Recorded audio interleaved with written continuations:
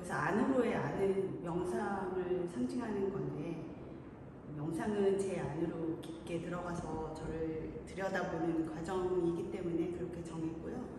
밖으로에서 밖은 어, 명상이 끝나고 제자리로 돌아왔을 때 어, 저의 그냥 일상생활을 의미합니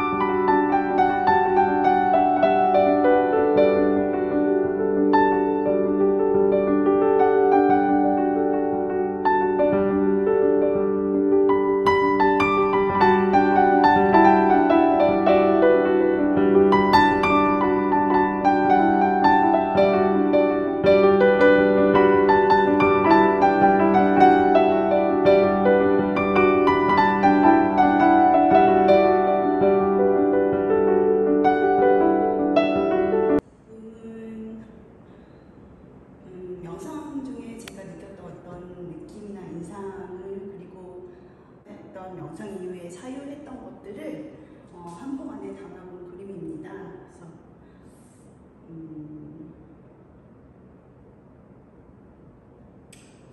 중간에 그 부분이 명상의 과정이고요. 그 다음에 명상에서 도달할 수 있다고 하는 저는 아직 모르지만 그런 어떤 것에 대한 이미지를 이 하얀색 화이트로 표현해 보았습니다.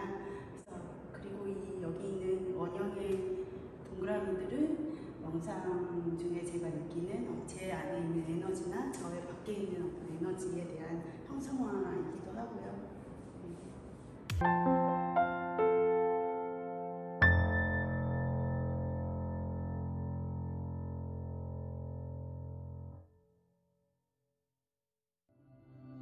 네.